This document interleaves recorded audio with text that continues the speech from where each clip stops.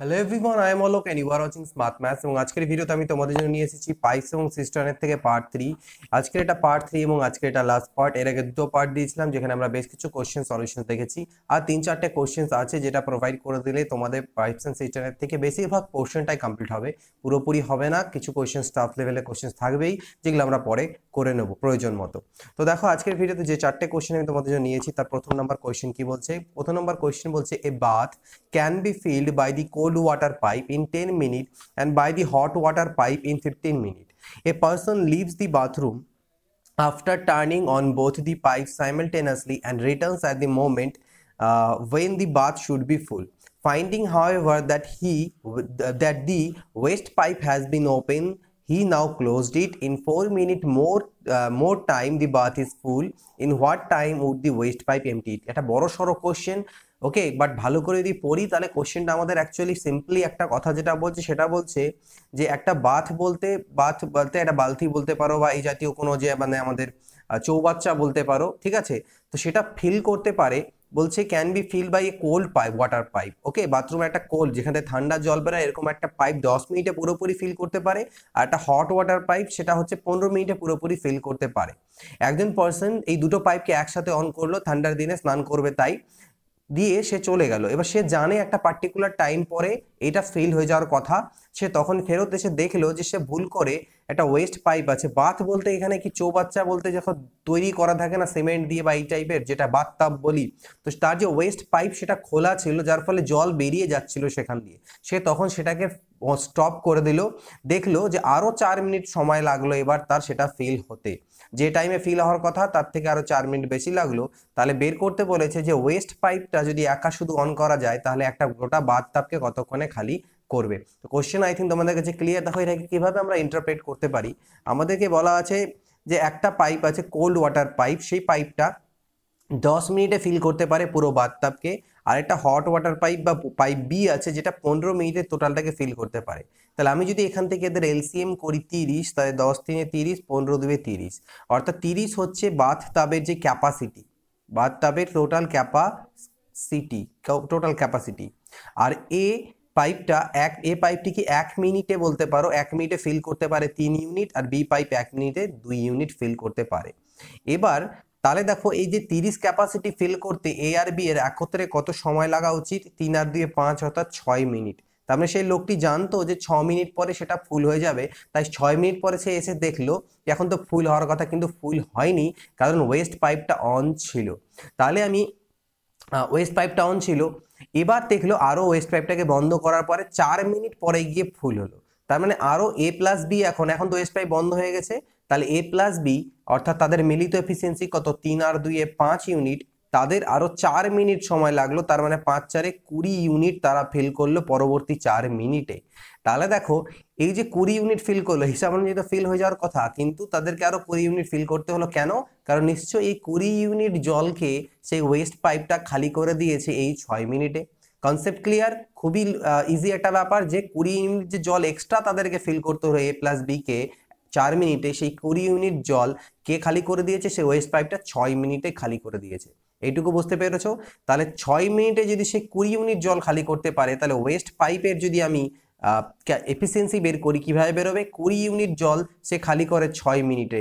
তার মানে ছয় মিনিটে খালি করে, তাহলে এটা হয়ে গেল কি? তার এফিসিয়েন্সি ক্লিয়ার তার বা অন্যভাবে আমরা এটাকে এইভাবেও বলতে পারো যেখানে আর আমাদের এটা এফিসিয়েন্সি বের করার প্রয়োজনই নেই, কারণ আমাকে লাস্টে চেয়েছে যে টোটাল ওয়েস্ট পাইপটাকে সে কতক্ষণে খালি করে টোটাল ট্যাঙ্কটাকে সে বা টোটাল বাথটাকে সে কতক্ষণে খালি করতে পারবে ওয়েস্ট পাইপ তাহলে ওয়েস্ট পাইপটা কুড়ি ইউনিট খালি করে ছয় মিনিটে তাহলে টোটাল ক্যাপাসিটি তো তিরিশ মিনিট তাহলে সরি তিরিশ ইউনিট তাহলে তিরিশ ইউনিট কতক্ষণে খালি করবে? কুড়ি ইউনিট ছয় মিনিটে আর তিরিশ ইউনিট মানে কি? কুড়ি প্লাস দশ, তাহলে কুড়ি, কুড়ির জন্য ছয়, আর আরও দশ ইউনিটের জন্য তিন, অর্থাৎ নয় মিনিটে তার মানে এই যে ওয়েস্ট পাইপ ছিল তাকে যদি একা মানে কাজ করতে দেওয়া হয় একটা ভর্তি বার্তাপকে খালি করার জন্য তাহলে সে নয় মিনিট সময় নেবে। তো আশা করছি বুঝতে পেরেছ খুব ইন্টারেস্টিং একটা কোয়েশ্চেন ছিল। পরে কোয়েশ্চেনটা দেখে নিই আমরা। পরে কোয়েশ্চেন কোয়েশ্চেন নাম্বার দুই।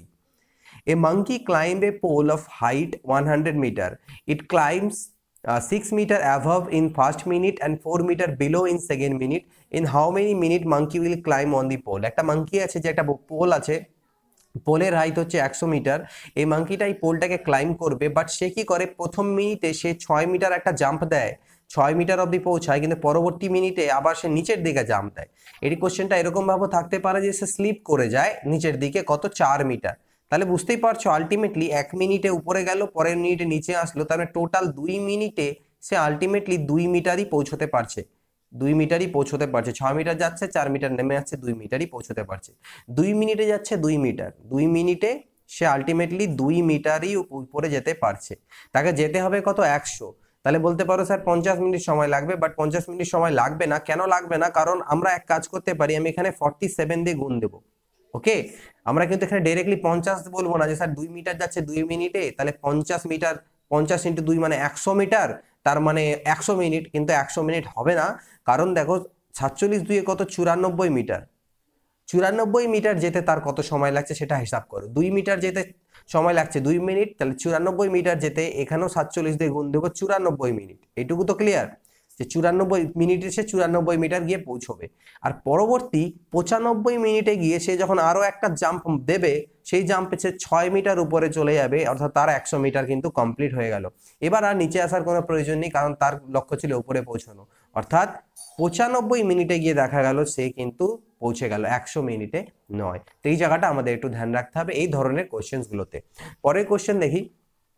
পরের কোশ্চেন কি আছে দেখো? পরের কোশ্চেন বলছে ABC are ABC are pipes attached to a cistern. ABC are pipes attached to a cistern. A and B can fill it in 20 minutes and 30 minutes respectively.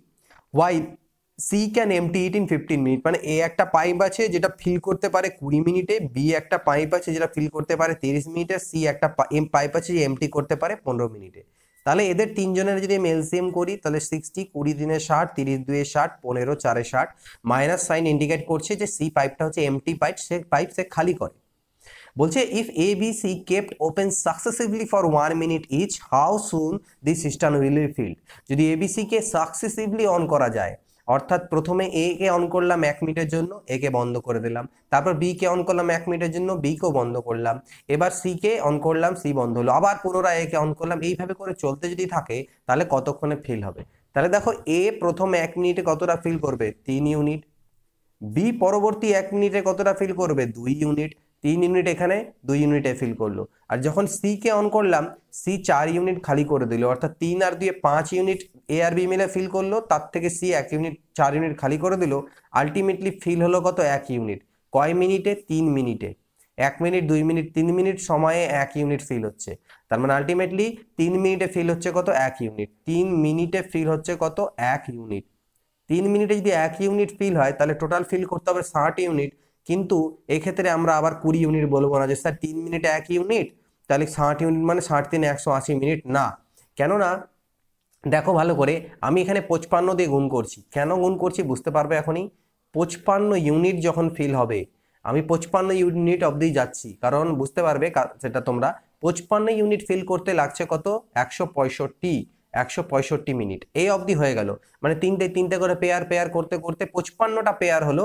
তাহলে পঁচপান্নটা পেয়ারে পঁচপান্ন minute feel হলো, কিন্তু সময় তিন মিনিট করে একশো পঁয়ষট্টি মিনিট একশো ছেষট্টি নাম্বার মিনিটে গিয়ে যখন আমি আবার পুনরায় এ কে অন করব, সে তিন ইউনিট ফিল করবে। একশো সাতষট্টি নাম্বার মিনিটে গিয়ে যখন আমি বি কে অন করব, তখন সে দুই ইউনিট ফিল করবে। তাহলে টোটাল একশো সাতষট্টি মিনিট লাগল, পঁচপান্ন আর তিন আটান্ন দুয়ে ষাট ইউনিট আমার এবার গিয়ে ফিল হলো। কারণ আমরা ডাইরেক্টলি এই কারণে করব না, কারণ এখানে খালি করার ব্যাপারটা আসবেই না। ফিল করা অবধি আমাদেরকে বলতে, বের করতে বলেছে। তাহলে এটার যেটা অ্যান্সার হবে, সেটা হচ্ছে কত? একশো সাতষট্টি মিনিটে ট্যাঙ্কটা আমাদের ফিল হবে বা সিস্টেমটা আমাদের ফেল হবে। পরের কোশ্চেন কোশ্চেন নাম্বার চার বলছে, tap A and tap B can fill a tank in ten hour and twenty hours respectively tap C can empty it in twelve hours একই রকম কোশ্চেন একটু প্র্যাকটিসের জন্য নেওয়া। ট্যাপ এ দশ, ট্যাপ বি কুড়িতে, আর ট্যাপ সি এটাকে ফিল খালি করে বারো। বারো বারো ঘন্টায়। If all the taps are open alternatively এই দুটো পয়েন্টের জন্যই নেওয়া এক জায়গায় সাকসেসিভলি বলা আছে এবং এক জায়গায় বলা আছে অল্টারনেটিভলি এই দুটোর মানে হচ্ছে এক। আর যদি সাইমালটেনাসলি বলা থাকে, তার মানে হচ্ছে সবাই একসাথে কাজ করছে। সাইমালটেনাসলি মানে একসাথে আর অল্টারনেটিভলি বা সাকসেসিভলি মানে এক এক করে। এই কিওয়ার্ড দ্রুত বা এই ওয়ার্ড দ্রুতর মিনিং আমরা ভালো করে বুঝে রাখব। তাহলে বলছে এক ঘণ্টা করে যদি কাজ করা হয় অল্টারনেটিভলি তাহলে কতক্ষণে ফিল হবে? একই রকম দশ, কুড়ি আর বারো, তাহলে আমরা এটাকে ষাট করতে পারি ওকে তাহলে দশ, ছয়, ষাট, কুড়ি, তিনে ষাট আর বারো, পাঁচে ষাট। তাহলে প্রথমে যখন এ কে আমি এক ঘণ্টা খুললাম এ ছয় ইউনিট ফিল করল বি কে যখন আমি এক ঘণ্টা খুললাম বি তিন ইউনিট ফিল করল, আর সি কে যখন খুললাম সি পাঁচ ইউনিট খালি করল আলটিমেটলি ছয়, তিনে নয় থেকে পাঁচ চলে গেলে চার ইউনিটই ফিল হচ্ছে তিন ঘন্টাতে। তিন ঘণ্টা ফিল হচ্ছে চার ইউনিট তাহলে ঠিক আগের মতন আমাকে এবার দেখতে হবে। আমি ডাইরেক্টলি চার দিয়ে পনেরো করে দেবো না যে, স্যার ষাটকে চার দিয়ে ভাগ দিলে পনেরো হয়। আমাকে এখানে দেখতে হবে এই দুটো সমষ্টি। সবসময় দেখবে এই দুটো মিলে কত হচ্ছে? ছয় আর তিনে নয়। ঠিক ছয় আর তিনে নয়। তাহলে সবসময় তার থেকে কিছুটা আগে আমরা রাখব। যে চার ইউনিট ফিল হচ্ছে, তাহলে দেখো তেরো চারে বাহান্ন, তারপরে হচ্ছে তেরো পাঁচ, চোদ্দ চারে ছাপ্পান্ন। তেরো চারে বাহান্ন ইউনিট অবধি আমরা করব যে, স্যার চার তিন ঘন্টাতে ফিল হচ্ছে চার ইউনিট তেরো দিয়ে গুণ করো। তাহলে তেরো চারে বাহান্ন ইউনিট ফিল হবে কতক্ষণে? তেরো তিনে উনচল্লিশ ঘন্টাতে। উনচল্লিশ ঘন্টায় ফিল হবে বাহান্ন ইউনিট পরবর্তী যে এক ঘণ্টা, সেই এক ঘন্টায় কিন্তু এ কাজ করবে। পরবর্তী এক ঘন্টায় এ কাজ করবে, এ ছয় ইউনিট ফিল করবে। কত হলো? আটান্ন ইউনিট হয়ে গেল। তারপরে বি কে এসে সেই দুই ইউনিট ফিল করতে হবে বাকিটা। পরবর্তী এক ঘণ্টা যদি বলি, তাহলে এক ঘণ্টা তো বি তিন ইউনিট এক্সট্রা ফিল করে দিচ্ছে, সেখানে যাওয়া যাবে না।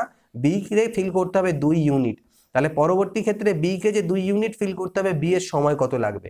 বি এর বিকের বিয়ের ক্যাপাসিটি কত? বিয়ের ক্যাপাসিটি তিন, আর দুই ইউনিট ফিল করতে হবে, তাহলে দুই বাই তিন। কত? দুই বাই তিন। তাহলে পরবর্তী যে দুই বাই তিন ঘন্টাতে মানে পুরোপুরি এক ঘণ্টা না, এক ঘণ্টা একটু কম, দুই বাই তিন ঘন্টাতে বি দুই ইউনিট ফিল করে দেবে। তাহলে আলটিমেটলি আমাদের টাইম কত হলো? উনচল্লিশ আর একে চল্লিশ ঘণ্টা দুই পূর্ণ তিন বাই, চল্লিশ পূর্ণ দুই বাই তিন ঘণ্টা। চল্লিশ পূর্ণ দুই বাই তিন আওয়ারের টোটাল যে ট্যাঙ্কটা আছে সেটা আমাদের ফিল হয়ে যাবে। তো এই সকল কোশ্চেন্সগুলো ছিল পাইপসন সিস্টেমের থেকে এগুলো করে যাও। চার চার আর মোটামুটি পাঁচ চার নয়, চোদ্দ থেকে পনেরোটা বা চোদ্দ পনেরোটা কাছাকাছি কোশ্চেন আমি তোমাদেরকে সলিউশন দিলাম। এই কোশ্চেন্সগুলোকে করো, তারপর কোনো একটা বই নাও প্র্যাকটিস করো, দেখো ম্যাক্সিমাম কোশ্চেন তোমরা করে নিতে পারবে। কারণ মেন মোটো হচ্ছে আমার তোমাদের মধ্যে এই সেন্সটা মানে কীভাবে আমরা সলভ করছি তার যে একটা কি বলে প্রসেসটা সেটা অটোমেটিক্যালি মাইন্ডে ডেভেলপ করানো তো সেটা তোমাদের মধ্যে ডেভেলপ হয়ে যাবে, এগুলো যদি করো, তাহলে পরে তোমার, তোমরা অটোমেটিক্যালি সেগুলো সলভ করতে পারবে।